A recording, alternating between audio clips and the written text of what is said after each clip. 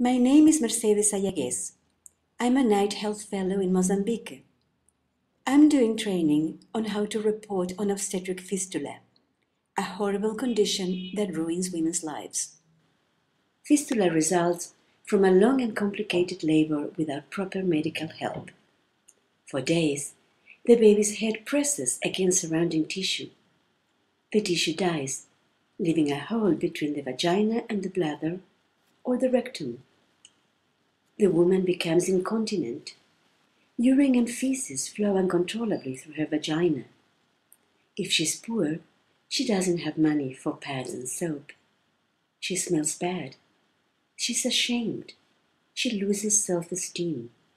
She loses her normal life.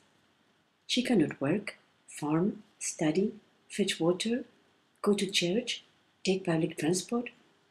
Husbands, friends, and family often abandon her. Who are most at risk? Girls who are married at 10 and 12 years of age and fall pregnant at 13 or 15, who give birth, as tradition requires, at the home of the mother in law, not at the clinic. Fistula is linked to early marriage and early pregnancy, to the subordination of women, and to poverty and long distances from clinics and delays in getting medical help. Yet fistula is treatable.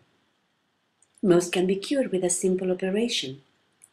100,000 Mozambican women suffer from fistula, but only 300 are operated every year. Mozambique is short of doctors, hospitals, blood, and medicines.